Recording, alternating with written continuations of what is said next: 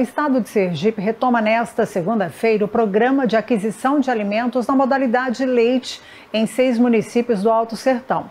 Serão atendidas de 3 mil famílias que receberão um litro de leite para cada dia da semana. O programa também contribui para o fomento à produção de leite em Sergipe, beneficiando a pecuária local. Vamos saber mais sobre o PAA Leite com a coordenadora Camila Bacan, que já está com a gente. Boa noite, Camila. Seja muito bem-vinda ao Jornal da Lese.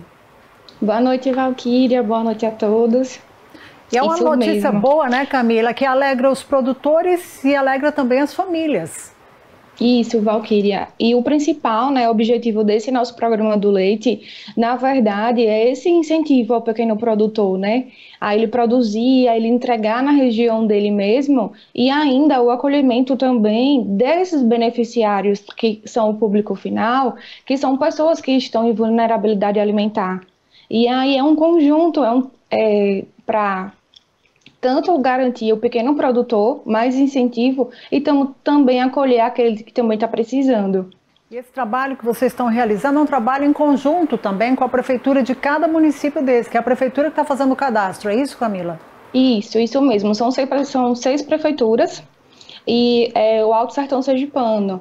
E aí a, o governo, através da Secretaria de Agricultura, e as prefeituras têm esse levantamento das informações dos beneficiários, que são público do CAD único. Fazemos esse levantamento, incluímos eles nas listas e depois distribuímos esse leite. Eu falei aqui das 3 mil famílias que serão atendidas. Isso. E os produtores serão 132, isso mesmo? Isso, são 3.072 famílias. Olha que bacana, gente. Isso. Nossa Senhora da Glória. Nossa Senhora da Glória, Monte Alegre, Poço Redondo, Canidé, é, Gararu, Porto da Folha. Olha que bacana, são seis municípios, gente, assistidos, e é, é, um trabalho muito importante, né, que vai levar Exatamente. leite. E serão atendidos uma vez em cada dia da semana, eles terão leite, né, Camila? Isso, as distribuições são duas vezes por semana, né? Na segunda e na quinta-feira. Mas o quantitativo desse leite é o suficiente para que eles tenham alimento todos os dias.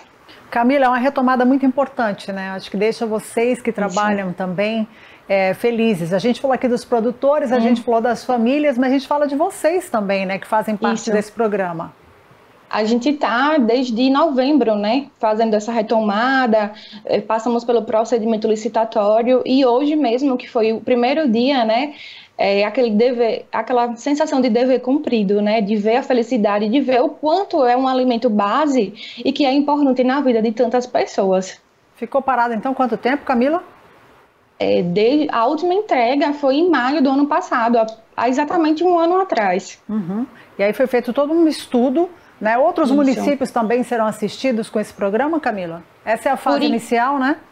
Isso, por enquanto são só apenas esses seis municípios, porque uhum. dependemos do repasse lá do governo federal. Mas futuramente a gente tem sim a pretensão de poder é, beneficiar mais municípios e mais é, famílias também. Ô Camila, ainda dá tempo de fazer esse cadastro com a prefeitura ou já está encerrado? As pessoas já fizeram o cadastro e está tudo certo agora? Então, nós já temos uma lista final, né? Mas, como sempre tem aquelas pessoas que às vezes não estão mais morando naquela cidade, aí a gente sempre deixa um cadastro reserva já preparado para essas situações. Olha aí dá bacana. tempo sim. Muito bacana, viu? Parabéns pelo trabalho que está sendo feito, atendendo esses seis municípios, atendendo os 132 produtores Isso. e também as mais de 3 mil famílias com esse programa. Obrigada, viu, Camila, pela participação com a gente hoje aqui. Obrigada, Valquíria. Eu que agradeço estamos à disposição.